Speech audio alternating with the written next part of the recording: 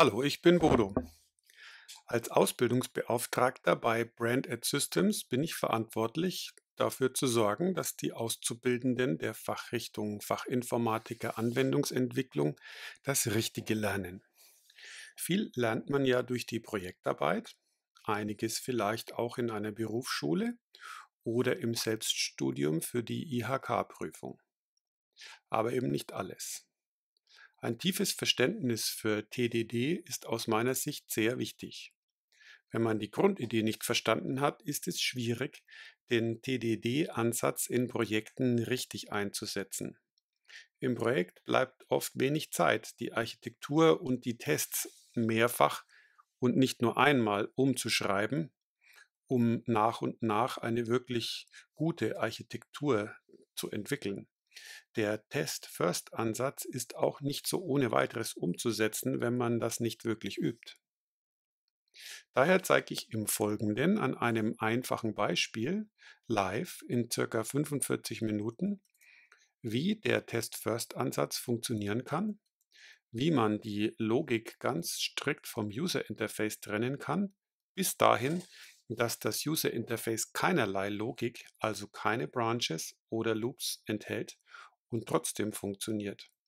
Wie man Java Interfaces in dem Zusammenhang nutzen kann und wie man aus diesen Java Interfaces das für äh, Mock-Objekte für den Unit-Test erzeugen kann. Insgesamt stelle ich mir das Lernen hier in drei Schritten vor. Also zuerst mal zuschauen, wie ich es mache dann verstehen, warum ich so und nicht anders mache und dann üben, bis man es nachmachen kann. Und zwar ohne zu googeln, ohne lang zu überlegen, nur mit Hilfe der in Eclipse eingebauten Code Completion. Das sollte man dann auch so wie ich jetzt vorführen können. Wir lesen gemeinsam die Aufgabenstellung, die ich euch ausgeteilt habe. Let's get started with the description of the task. Rewrite more in Java using test-first unit tests and implement a Java FX UI. Implement the core functions of the Unix command line tool more in Java with no extras. The class should read from an input stream. The lines per page are given on initialization and can be hard-coded in your tests or user interface. For example, use three lines per page. If the sample text has more lines than lines per page given, then JMore should print at most the given maximum lines per page from the input stream in the window, then wait for a key event, and if the escape key was pressed, the program should exit, if any other key is pressed, the window should be cleared and the next page should be printed on the window, and so on until the end of the input stream is reached. The program should exit only if the escape key is pressed, otherwise it should just wait. An important note on the user interface. Handling keyboard events is not possible in plain Java using default Java libraries or any text terminals like Windows Command or Unix Xterm or Bash. Therefore, you need to use JavaFX or Swing or AWT. The JavaFX is the most modern one, therefore we will use that. The JavaFX front end must not contain any logic or loops, just instantiation and glue code. All logic goes into one Java class called JMore that should be fully independent from any user interface libraries. Only this user interface independent class should be unit tested, not the Java FX UI. Do not write an event loop to handle the key events for yourself. Use an event handler, also called the callback method instead. The actual event loop is already built into JavaFX, Swing, or AWT. In the JavaFX front end, instantiate an input stream simply from this get class, get class loader, get resource stream. Optionally, you can print a hint. Unit test first. Strictly write the tests first, then the implementation. Implement the JavaFX user interface not before all tests, plus the implementation are really complete and running, and only use Java built-in libraries plus JUnit, nothing else. Wir starten mit dem Erzeugen eines neuen Projekts. Wir könnten jetzt entweder ein Maven-Projekt oder ein Gradle-Projekt erzeugen, um zu bewirken, dass wir das äh, Projekt dann später auch ohne Eclipse äh, bilden und starten können. Ich verwende hier Gradle, ähm, gebe hier einen neuen Projektnamen ein und äh, übernehme alle Default-Einstellungen. Damit wird in die Gradle-Dateien automatisch erzeugt, das Projekt wird erzeugt, die Projektstruktur wird erzeugt. Ähm, nur in dem Default-Package, was automatisch mit erzeugt wird, das brauchen wir nicht. Deswegen löschen wir es hier und erstellen dann anschließend ein neues Package. Das Package nennen wir de bus javatar. Im, zunächst im Test Java Source Folder und dort erstellen wir direkt den JUnit Test Case.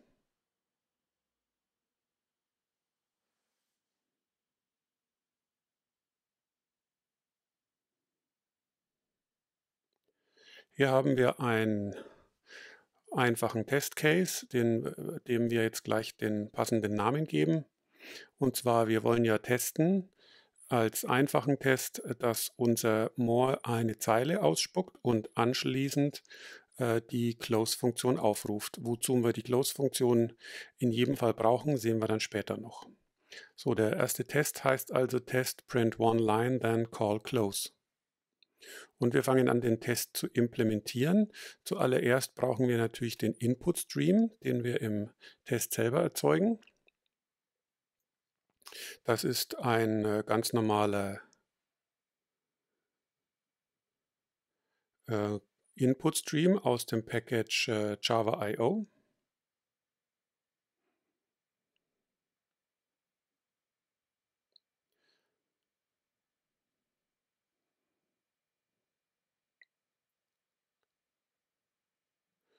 und den instanzieren wir sogleich und zwar verwenden wir einen Byte Array Input Stream. Das ist die einfachste Möglichkeit hier.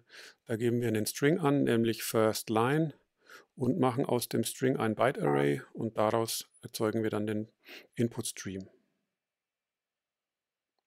So, was brauchen wir als zweites? Wir müssen natürlich festlegen, wie viele Zeilen pro Seite wir maximal auf einer Seite haben wollen. Da nehmen wir einen einfachen Fall mit 3, obwohl wir jetzt hier erstmal nur eine Zeile brauchen. Und ganz wichtig jetzt unser Output-Händler, also die, das, äh, die Struktur, über die dann unsere eigentliche More-Implementierung ihre Ausgabe erzeugt. Das gehört jetzt schon zur eigentlichen Implementierung, ist kein Test.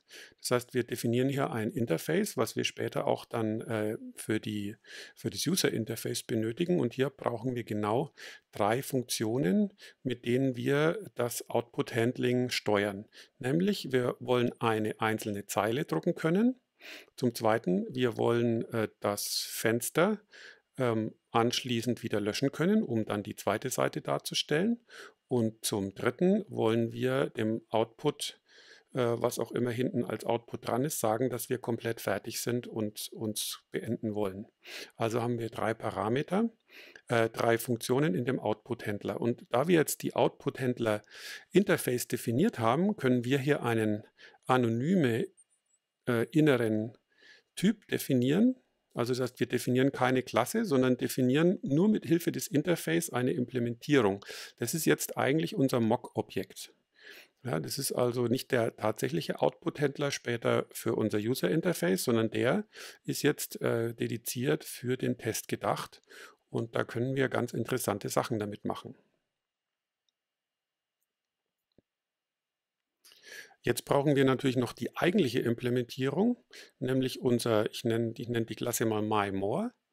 Ähm, die ähm, lassen wir erstmal automatisch von Eclipse erzeugen. Dann instanzieren wir sie und zwar mit den drei Parametern, die wir vorhin genannt haben, nämlich äh, der kriegt übergeben den Input-Stream, den Output-Händler und die Anzahl der Zeilen pro Zeile. So, hier habe ich mich natürlich vertippt. Es ist hier nicht der das Interface-Output-Händler, sondern unser aus dem Interface generiertes Mock-Objekt gemeint. Das heißt, wir benennen das hier auch gleich mal um, damit es noch klarer wird. Das ist ein Mock-Output-Händler und genau diese Instanz übergeben wir dann hier unten unserem MyMore. Aber wir haben hier ja noch nicht den Constructor implementiert. Den lassen wir jetzt auch von Eclipse automatisch erzeugen, also jedenfalls den Rahmen dafür. Hier innen heißt natürlich das nicht mehr Mock-Output-Händler, sondern aus der Sicht der Implementierung ist das irgendein Output-Händler. Deswegen benennen wir auch wieder so. Und hier innen erzeugen wir jetzt aus dem Input-Stream einen Buffered Buffered Reader deswegen, weil wir ja zeilenweise lesen wollen und das können wir aus einem Input Stream nämlich nicht direkt.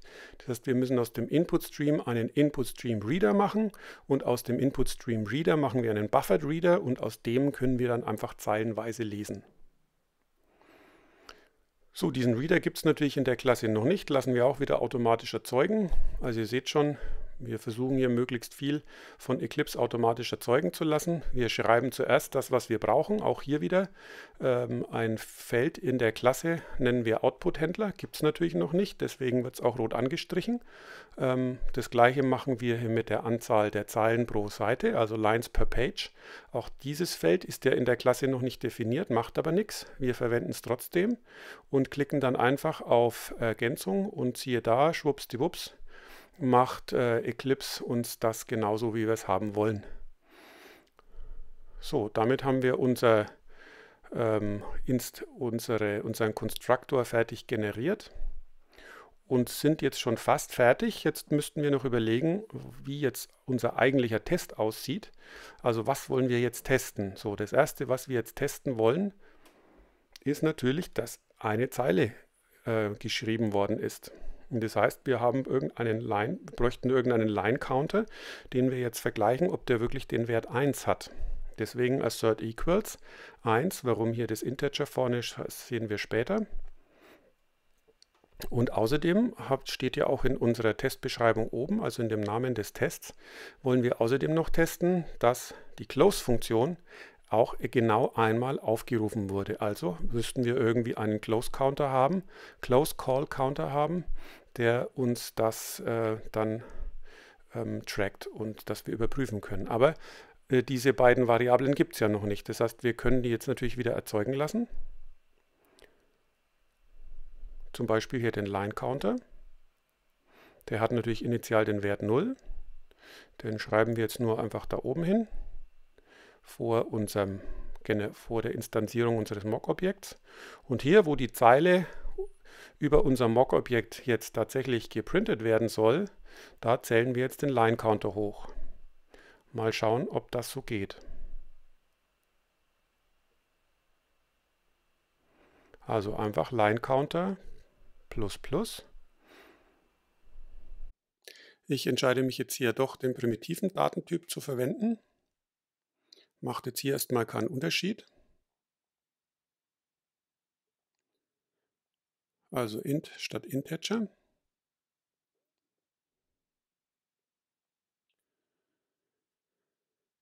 Und das gleiche machen wir dann für den Close Call Counter.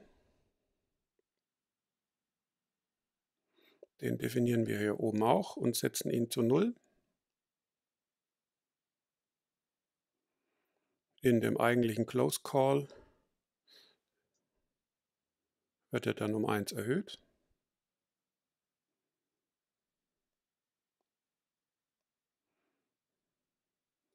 Unten noch als primitiver Datentyp int verwenden und speichern. Aber jetzt haben wir ein Problem. Und zwar, wir haben hier eine lokale Variable definiert im umschließenden Datentyp und die muss jetzt final sein. Das ist eine, eine, eine Grundvoraussetzung dafür, wenn man anonyme Klassenimplementierungen verwendet, so wie hier. Das heißt, ich kann hier nicht einfach ähm, von der auf Felder in der äußeren Klasse zugreifen. Ähm, das funktioniert prinzipiell nicht.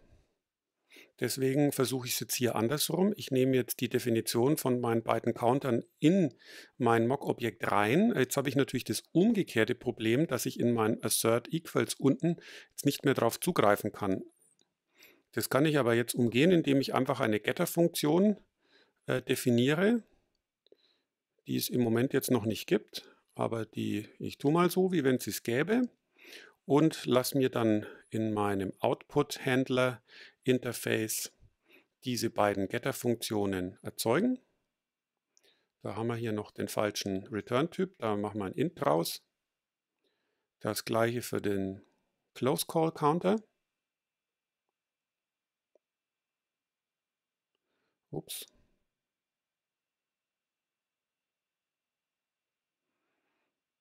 Auch da Datentyp int als Return-Wert. Das Ganze speichern.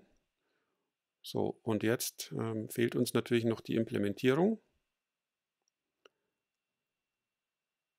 Denn in unserem anonymen Datentyp kriegen wir jetzt unterringelt unser Output-Händler, den haben wir jetzt, da fehlen die beiden unimplementierten Methoden, die lassen wir uns jetzt auch wieder automatisch erzeugen. Und dann brauchen wir hier nur noch den Return-Wert reinschreiben, nämlich einmal den Line-Counter und geben einmal den Close Call Counter zurück und dann schauen wir mal, unser Test läuft.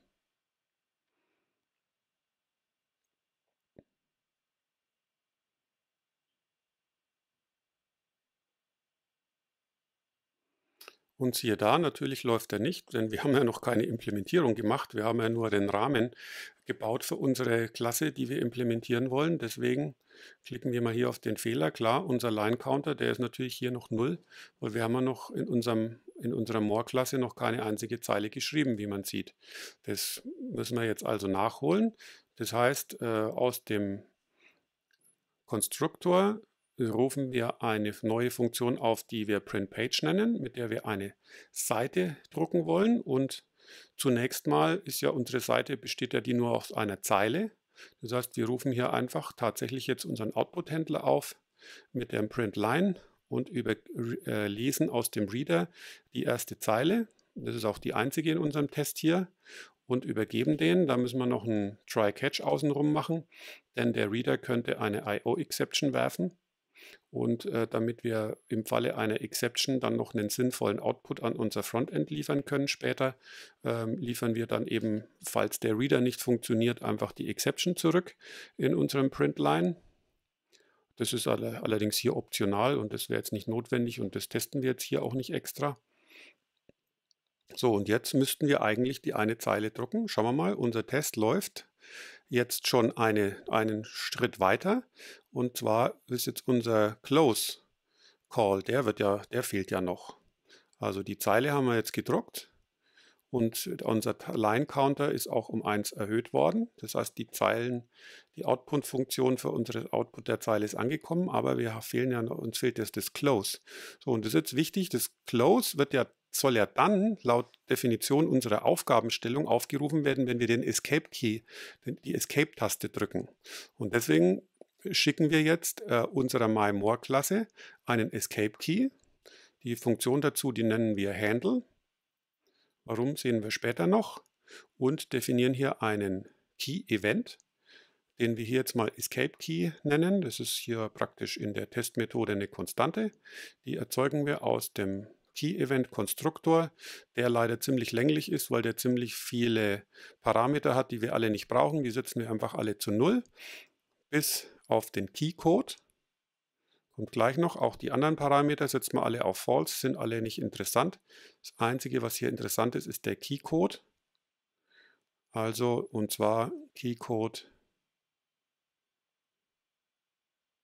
Escape. Das haben wir hier jetzt als Konstante definiert. Und diesen Escape Key Event mit dem Keycode Event, das muss äh, ein Key Event in dem Java FX Package übrigens sein. Es gibt noch andere Key Events in Java, äh, die alle dann nicht passen würden für Swing und für äh, AWT. Aber wir verwenden hier den aus dem JavaFX Package. So, und die Methode fehlt uns natürlich auch noch in, unserem, in unserer Implementierung. Die lassen wir uns wieder automatisch generieren. Und in dem Moment, wo diese Methode aufgerufen wird, wissen wir, aha, Escape Key, jetzt sind wir fertig und unser Output-Händler äh, muss nicht mit Clear Page aufgerufen werden natürlich, sondern mit Close. So, mal sehen, ob unser erster Test jetzt funktioniert. Einmal abspeichern, einmal Test starten. Und sieh da, unser Test ist grün. So, das war mal der erste Test. Eine Sache ist aber jetzt ganz unschön. In unserem Output-Händler haben wir jetzt, in unserem Interface für den Output-Händler haben wir jetzt zwei Methoden drin, die eigentlich jetzt nur zum Testen da sind. Und das, die wollen wir jetzt wieder loswerden. Schauen wir mal, wie das geht. Das heißt, wir löschen einfach mal diese beiden Methoden raus, kommentieren mal kurzfristig unser eines Assert Equal Statement aus und gucken uns mal an, ob wir an den Close Call Counter auch irgendwie anders dran kommen. So, und da gibt es tatsächlich eine Möglichkeit, wie man das erreichen kann ohne dass man hier das Output-Interface mit irgendwelchen Testmethoden verschmutzt, sage ich mal. Und zwar definieren wir eine Hashmap.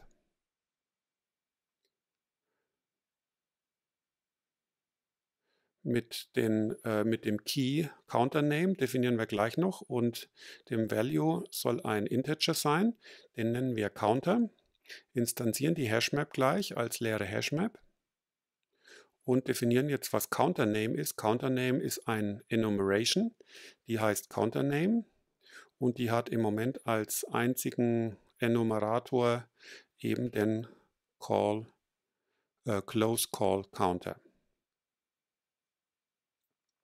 oder Close Calls. So und äh, diesen Key befüllen wir jetzt, also in der Hashmap befüllen wir jetzt den Key namens CounterName Close Calls mit dem Integer Value 0. Und ihr seht hier diese Counter Hashmap, die ist jetzt final. Das heißt, äh, auf die können wir jetzt in unserem Mock-Objekt zugreifen und wir wollen die Hashmap selber auch nicht verändern. Wir können jetzt aber interessanterweise den Inhalt der Hashmap verändern und das geht wie folgt. Wir greifen auf die Hashmap zu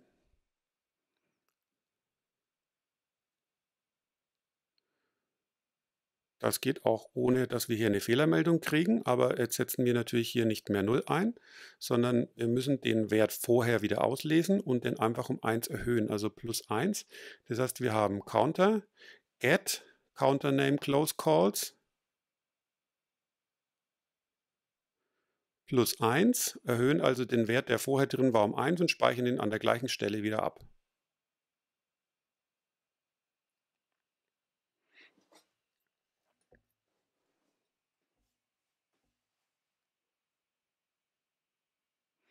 Und auf diesen Wert können wir dann unten ganz genauso zugreifen, wie wir es oben auch machen. Also Counter get den Key, nämlich Counter Name Close Calls. So, und da haben wir jetzt den Wert. Und der müsste, wenn wir nichts falsch gemacht haben, jetzt wieder 1 sein. Hier vorne haben wir jetzt noch die Sache mit dem Integer. Wir haben jetzt hier keinen primitiven Datentyp mehr, Schauen wir mal, ob das so auch geht, wenn wir den Datentyp nicht explizit definieren. Gut, geht aber trotzdem nicht. Das ist eine Eigenart von dem Assert Equals. Der will hier den genauen Datentyp haben. Also definieren wir hier halt einen Integer-Datentyp und schon funktioniert es. Das gleiche könnten wir jetzt auch mit dem Line-Counter machen. Okay, jetzt schauen wir erstmal, ob der Test funktioniert. Jawohl, er ist grün. Das gleiche könnten wir jetzt mit dem Line-Counter machen, aber da gibt es noch eine schickere Methode, wie man noch ein bisschen Tipparbeit spart. Und zwar, wir wissen ja jetzt, dass unser Close-Call genau einmal aufgerufen wird. Das haben wir ja unten sichergestellt. Und wenn der genau einmal aufgerufen wird am Ende, dann können wir ja dort ja auch alle anderen Assert Equal Statements einbauen. Nämlich so. Ja, das heißt, wir äh, checken hier innerhalb von dem Close Call ob unsere Line Counter stimmt und ganz am Ende checken wir, ob unsere Anzahl von Close Calls stimmt. So, dann gucken wir mal, ob wir bereinigen hier noch mal ein bisschen die Klasse um ein paar Leerzeilen. Und dann schauen wir mal, ob, unsere, ob unser Test noch funktioniert nach dem, äh, nach dem Umbau.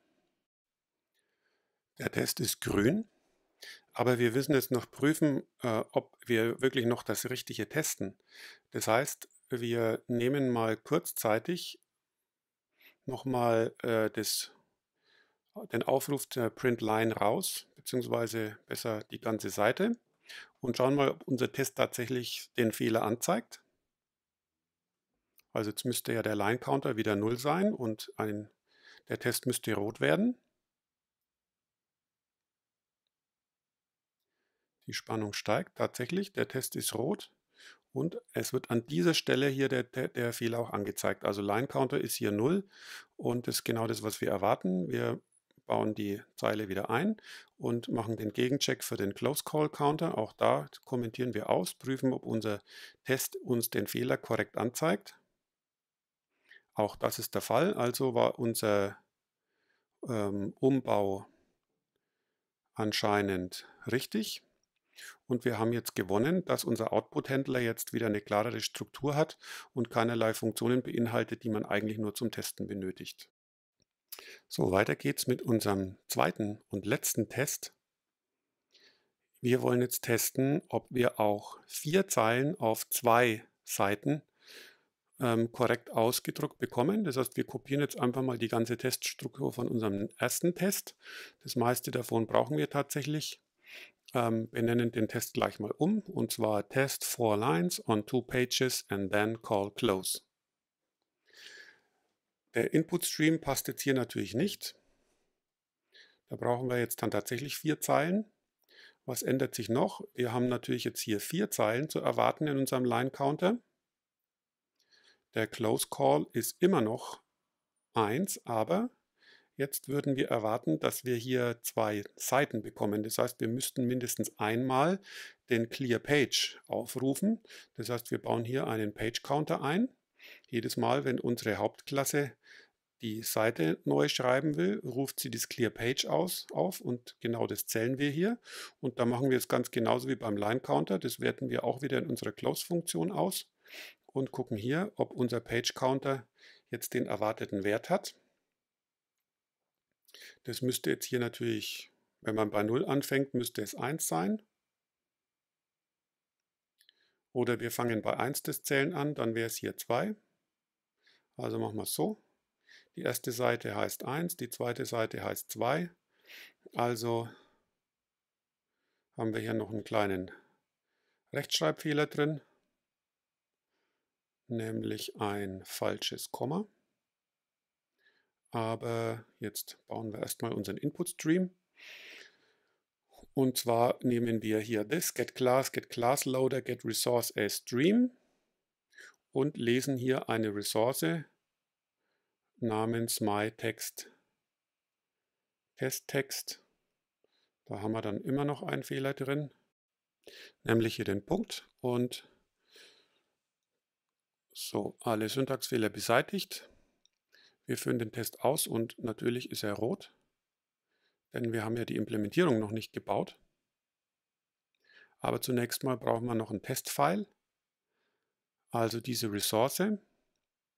Da bauen wir erstmal einen Folder, der heißt Source Main Resources. Der muss auch ganz genau so heißen.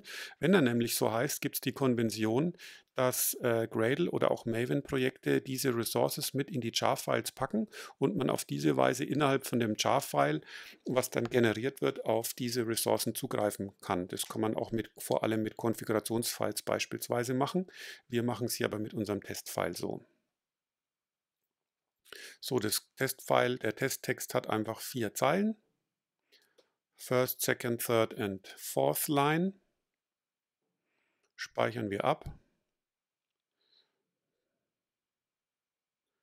So, da oben haben wir noch einen kleinen Typo. Das muss natürlich dann mein MyTest-Text sein. Also statt dem X ein S. Auf diese Weise können wir den, das File einlesen als Input-Stream unserer, unserer MyMore-Klasse übergeben. So, unser Test ist eigentlich jetzt schon fast fertig. Das Einzige, was wir jetzt vergessen haben, ist natürlich unsere Key-Events. Also wenn wir die zweite Seite sehen wollen, müssen wir ja einen Key an unsere Implementierung schicken, der nicht der Escape Key ist, weil beim Escape Key wird ja das äh, Programm abgebrochen. Also definieren wir hier einen zweiten Key-Event, der eben Non-Escape Key-Event heißt, also egal, irgendein Key, der nicht Escape ist. Äh, wir machen mal als Beispiel die Leertaste, aber im Prinzip würde auch jede andere, muss auch jede andere Taste dann funktionieren. Den schicken wir zunächst, dann würden wir erwarten, dass unser MyMore die zweite Seite ausdruckt. Anschließend der, schicken wir den Escape Key und ähm, das Programm beendet sich. So, das ist eigentlich unser fertiger Test, der natürlich jetzt noch nicht funktionieren kann, weil wir haben ja noch keine Implementierung. Im Moment drucken wir ja nur eine Zeile aus und nicht drei Zeilen. Klar, wir erwarten hier sogar vier Zeilen. Also müssen wir hier wohl eine Schleife programmieren. Dazu brauchen wir erstmal einen Zeilenzähler, damit wir nicht zu viele Zeilen drucken. Wir wollen ja hier nur drei Zeilen pro Zeile haben. Also brauchen wir irgendwie einen Zeilenzähler und wir brauchen eine Zwischenvariable, um unsere einzelne Zeile zu speichern, wie wir gleich sehen werden. Und dann bauen wir eine While-Schleife, wo wir sagen, wenn unser Line-Counter noch kleiner als die Lines per Page ist, dann wollen wir unsere Zeile haben. Die lesen wir aus dem Reader aus mit Reader, readLine. Können wir einfach von unten hoch kopieren. Und wenn dieses myLine ungleich 0 ist, dann sind wir in unserer Schleife drin, weil dann können wir nämlich diese eine Zeile tatsächlich drucken. Das heißt, wir kopieren das hier in die Weilschleife rein. Hier das myLine und jetzt müssen wir noch unseren Schleifenzähler um 1 erhöhen, damit wir wissen, wie viele Zeilen wir schon gedruckt haben, ausgegeben haben und sind eigentlich schon fertig mit der Implementierung. Jedenfalls, was die erste Seite angeht. Gut, dann schauen wir mal, ob unser Test funktioniert. Funktioniert natürlich noch nicht ganz richtig, weil wir haben jetzt erstmal ja nur drei Zeilen statt vier auf zwei Seiten ausgegeben.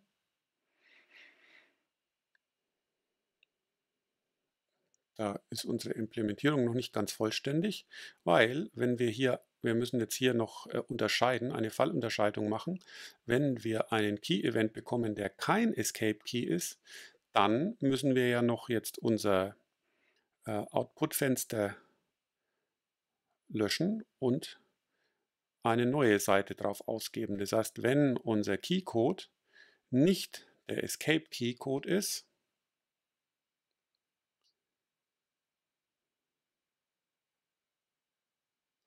Dann löschen wir erstmal die Seite und geben dann die zweite Seite aus.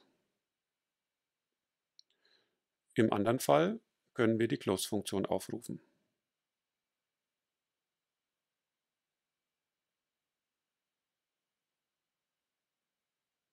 So, mal sehen, ob das funktioniert. Und sieh da, unser Test ist grün. So, jetzt sind wir eigentlich fertig mit der Implementierung unserer eigentlichen Klasse, aber was wir jetzt natürlich noch haben wollen, ist ja ein Frontend. Das Frontend implementieren wir als JavaFX Klasse, die überhaupt keine Logik enthält. Da, ruf, da rufen wir auf die äh, Quick-Funktion von Eclipse, erzeugen eine JavaFX mit Main-Klasse die nennen wir JavaFX Frontend. Da lassen wir auch schon mal den Rahmen automatisch erzeugen. Da ist hier eine Main-Funktion schon drin und eine Startfunktion. In der Startfunktion bauen wir unsere Anwendung zusammen. Das sind nur ein paar Zeilen. Wir brauchen hier eine Primary Stage, die müssen wir uns merken, weil die brauchen wir später nochmal. Primary Stage ist quasi die Bühne, auf der der ganze Rest stattfindet. Dann brauchen wir ein Text Area. Das ist da, wo wir unseren Text reinschreiben. Das erzeugen wir jetzt hier neu. Müssen wir uns auch merken, brauchen wir auch später noch. Und zwar nicht das AWT Text Area, sondern das von JavaFX natürlich wiederum. Merken wir uns auch hier als Feld in der Klasse. Dann müssen wir das Text Area äh, nur lesbar machen. Das heißt, es ist nicht editierbar. Wir, sollen, wir wollen ja nur was ausgeben und nichts editieren. Also set editable false. Und jetzt bauen wir die Text Area noch in unsere Primary Stage ein. Da brauchen wir noch eine Scene dazwischen. Äh, eine Primary Stage. Wir setzen die Szene machen eine neue Szene mit unserem Text Area und haben eigentlich unsere Anwendung schon fertig zusammengebaut. Jetzt muss man das Ganze noch anzeigen. Da müssen wir einfach die Show-Funktion aufrufen. Sieht man hier gleich am unteren Bildschirmrand.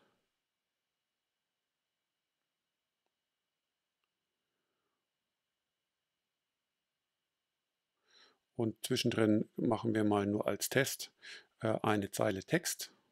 Das ist eigentlich schon unsere ganze, unser ganzes JavaFX Frontend. Rufen das mal auf, die Main-Klasse und sie da funktioniert auch. Aber wir wollen natürlich ein bisschen mehr machen, nicht nur das Hello ausgeben, können wir hier wieder streichen, sondern wir wollen ja unser MyMore instanzieren. Das heißt, wir erzeugen uns ein Objekt vom Typ MyMore.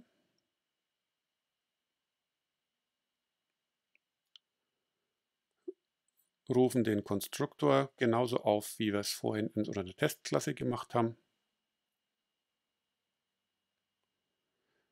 So, der Output-Händler allerdings ist jetzt unser JavaFX Frontend selbst.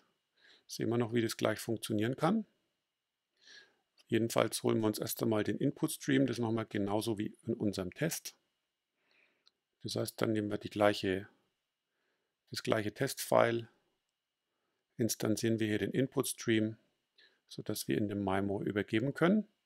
Aber was uns noch fehlt ist äh, unser Output-Händler. Der Output-Händler ist aber jetzt hier unser Java FX Frontend selbst. Das heißt, wir implementieren hier jetzt den Output-Händler. Das heißt, das behaupten wir jetzt erstmal, ist natürlich noch nicht der Fall. Lassen Eclipse automatisch alle noch nicht implementierten Methoden hinzufügen. Das sind eben die drei, Print Line, Clear Page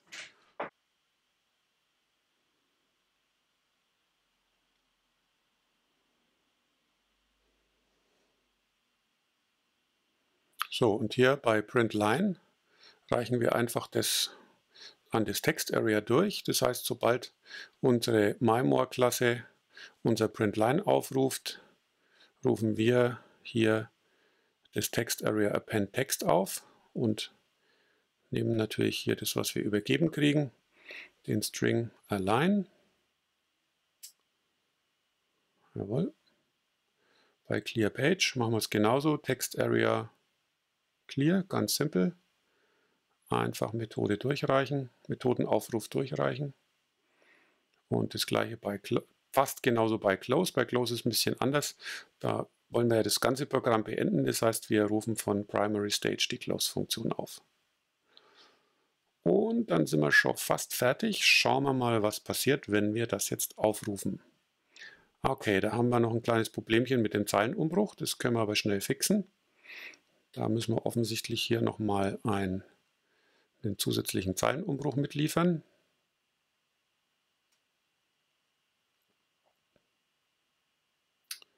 Mal sehen, wie das geht. Aha, das sieht schon besser aus, aber leider reagiert unsere Anwendung jetzt überhaupt noch nicht auf die Tastendrücke. Das stimmt, das haben wir, haben wir jetzt noch nichts definiert. Da reicht uns aber eine einzige Zeile. Was wir nämlich machen ist, wir verknüpfen den, den Key-Händler, den Event-Händler vom Text-Area mit unserer Handle-Funktion von dem MyMore. Und zwar ist es so, nicht Händler, sondern Handle. Und wir übergeben hier, wir rufen hier nicht eine Funktion auf, sondern dieser doppelte Doppelpunkt bedeutet, dass wir hier die komplette Funktion als solche übergeben. Das heißt, sobald ein Tastendruck gedruckt, gedrückt wird, wird dieser Key-Event einfach an unser MyMore weitergegeben und siehe da, schon sind wir fertig und unser Programm funktioniert. So, zum Schluss schauen wir, wie wir mit Gradle W Leerzeichen Bild unser Projekt auf der Kommandozeile bilden können. Es werden die Tests ausgeführt und die Char-Datei erstellt und starten können wir das Ganze mit java-cp für GlassPath buildlibs.jmore.jar und dann den Klassennamen de bus javata jmore frontend. Und dann funktioniert das Ganze auch genau so, wie wir es gerade innerhalb von Eclipse gesehen haben. So, das war's von meiner Seite. Jetzt liegt's an dir. Meine weitere Empfehlung ist, dass du die Aufgabe mehrmals noch selbstständig löst. Und zwar so lange, bis du es schaffst, in 45 Minuten die Aufgabe ohne Rückgriff auf das Video oder auf Google selbstständig zu lösen. Dazu musst du natürlich das Konzept verstanden haben oder ein besseres haben. Und du musst die verwendeten Java-Klassen und Funktionen aus dem Java Standard Package einigermaßen auswendig wissen. Wenn du das Thema noch weiter vertiefen willst, habe ich noch zwei Vorschläge für dich. Vielleicht ist dir aufgefallen, dass in dem JMOR jetzt eine Abhängigkeit zu dem JavaFX besteht. Dort werden ja die beiden Klassen KeyEvent und KeyCode verwendet. Das ist natürlich sehr unschön und man kann das sicher besser machen. Die zweite andere Idee wäre, dass du die ganze Aufgabe nicht mit Java, sondern mit TypeScript, Angular und dem Browser als User Interface versuchst zu lösen. Danke für deine Aufmerksamkeit.